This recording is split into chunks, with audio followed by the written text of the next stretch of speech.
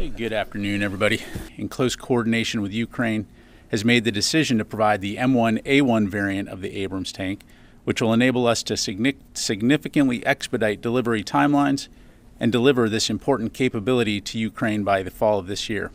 It will also give Ukraine a very similar capability to the M1A2, which includes advanced armor and weapon systems to include a 120 millimeter cannon and 50 caliber heavy machine gun.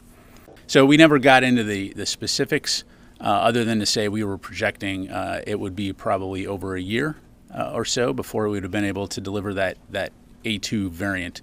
And so, uh, again, this approach will allow us to get that combat capability them quicker. So my understanding, Tony, is that these will be uh, excess hulls in our inventory that we will refurbish, refit uh, through a combination of USAI and security assistance packages uh, in order to make them uh, combat ready. So, so really, what you know, to put that into context, what what we were talking about at the time was whether or not we had M1 A1s that were going to roll off the, or you know, M1s in general are going to roll off the line, ready to go forward.